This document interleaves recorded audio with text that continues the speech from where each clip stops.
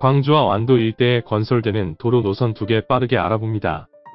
먼저 광주와 완도를 연결하는 고속도로 개통 노선입니다. 광주완도 고속도로는 광주 서구에서 해남 남창까지 이어지는 총 연장 88.61km 노선입니다. 광주완도 고속도로는 2단계에 거쳐 추진됩니다. 광주 서구 강진 성전까지 51km 1단계 구간과 강진 성전에서 해남 남창까지 37km 2단계 구간으로 건설됩니다.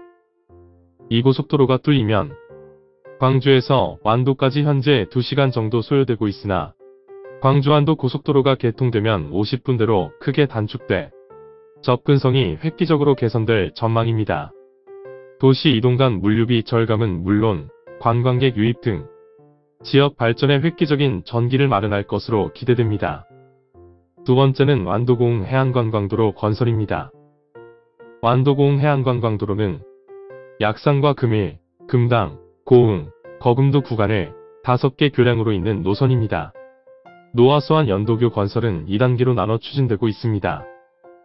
1단계 구간인 노화구도 연도교는 이미 지난 2017년 개통했고 2단계 구간인 구도소환 연도교와 해남 송지와 노화, 소환 구간이 지방도 806호로 지정됐으며 지방소멸대응기금 투입해 전남도에서 시행 예정인 타당성 조사 등을 통해 밑그림이 그려질 예정입니다. 뿐만 아니라 국비 412억 원을 투입해 국도 77호선 고궁 구간의 굴곡도로 개선 등 시설 개량 사업도 함께 진행됩니다. 노화 소환 간 연도교 건설은 특히 노화와 소환, 복일 등 3개의 성지역을 하나의 경제 생활권으로 묶는 역할을 하게 됩니다.